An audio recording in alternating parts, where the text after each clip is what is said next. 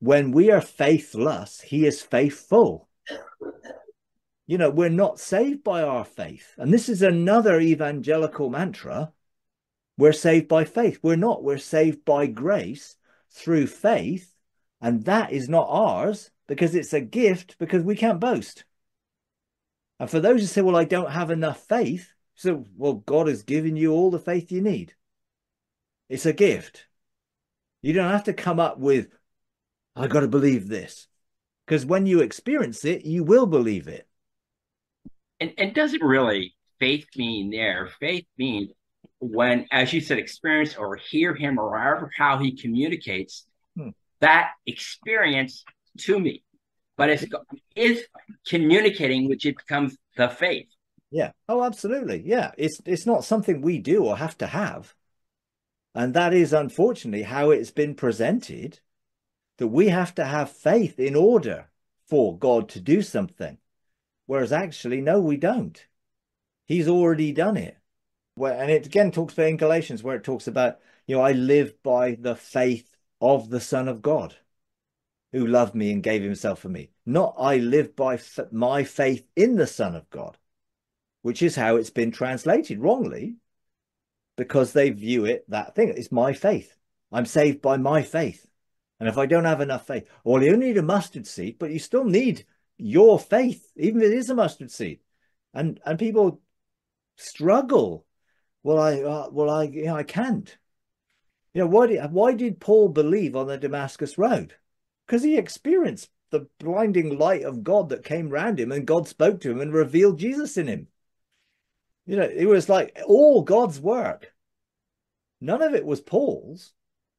Yeah. All he had to do was like, oh yeah. You know, well, how could he not believe that? Having experienced that revelation. And uh, you know, when I watched the, the movie, you know, this, you know, Jesus Revolution thing, it was the encounters they had with God's love, which unveiled the truth. Now, it was dressed up in all the religious stuff of Calvary Chapel and all that stuff, but actually, it wasn't what they were saying that made any difference. It was what the experience they had when they encountered God, whether they encountered Him when they were baptized or whatever, when it was, something changed their being able to believe because all of a sudden, one day I do believe. You know, I've experienced that. It isn't faith as in blind faith. You're never going to experience this, so you just have to believe and have no experience. That, unfortunately, is what it became.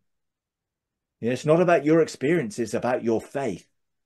You know, and even when you don't experience it, have faith. Well, I don't want a life with no experience. That's like saying you want a marriage with no sex. Yes, you you don't want you want the whole package. You want the whole experience of life in God because He has it all for you.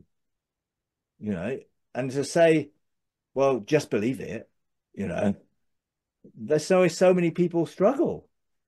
You know, well, you just got to believe by faith, as if and and even encountering heaven and all the stuff that we do when we're talking about ascensions and all that well just do it by faith in other words, just try and do it. Well, it doesn't work trying to do it like that. Do it by faith of that. And ultimately, we don't do it by my faith. We enter into the promise. The promises come up here. The promises enter in through the door. The we enter in through the promise which he's made. But it's not my faith in that promise that makes it work. It's the power within the promise. When I come into agreement with, it opens the door. You know, so we've sort of created a whole lot of stuff based on, you know, uh, what our faith is. You know, have faith in God that you've never met. Well, they all met Jesus. They didn't need to have faith in Jesus, did they? They met him, they knew him, they experienced him, and they believed in him. And when we come to experience him, we will believe in him. And when other people come to experience him, they will believe in him. But we've told them it doesn't matter about the experience. You just got to believe in him, even though you've never met him and you have no evidence for the fact, but just believe. So we've created a whole different gospel and generated a whole different view of what faith is. And you're absolutely right. As soon as you have that experience, that is outworked in your life. Faith is really what he gives us the ability to believe in the reality of what we've had experienced. It's a, it's a product of the experience, not something that generates the experience. If you enjoy these videos, would you please take a moment to like, comment and subscribe? It really does help. Thank you very much.